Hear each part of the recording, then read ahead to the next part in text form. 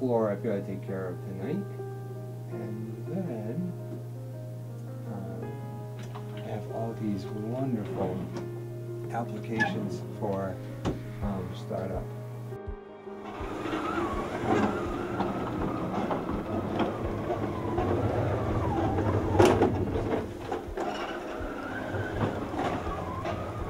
Yeah, I've been here almost three years.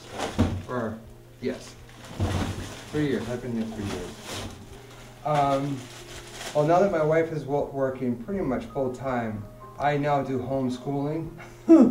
yeah, if if I don't have the students, um, sometimes my nights go from my regular schedule is four to twelve. Sometimes goes till two, maybe four, and then my kids wake me up at seven. Um, after I get I get home and get to bed probably around five ish. So they'll wake me up and say, Dad, it's time for breakfast, and we start a new school day. So yeah. What does Brian do for school? What I love about him is he sets up a community of not uh, only just uh, just graceful love for everyone and just equally just loves who he works with and encourages us to just enjoy what we do and enjoy each other. Biggest thing that he does, in my opinion, is that he teaches um, those that work for him what it looks like to work as unto the Lord.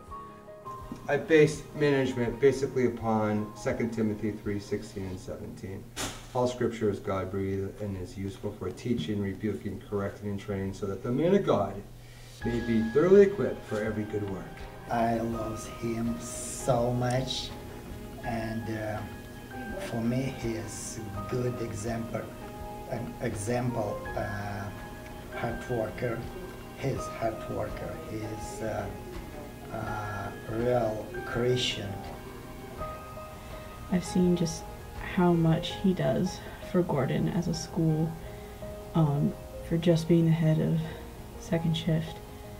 It's amazing how much he's able to pour of himself into the other students and faculty that work here.